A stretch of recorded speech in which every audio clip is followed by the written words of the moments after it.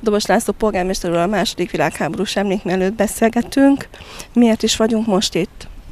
A városvezetése minden évben megemlékezik a város hősi halottjairól, minden szentek és halottak napja alkalmából. Ez történt ebben az esztendőben is. Gondolunk azokra, akik életüket áldozták a szabadságért a történelem folyamán. A második világháborús emlékmű mellett hol helyeznek még el koszorút? Természetesen az első világháborús emlékműnél és a Levente emlékműnél is.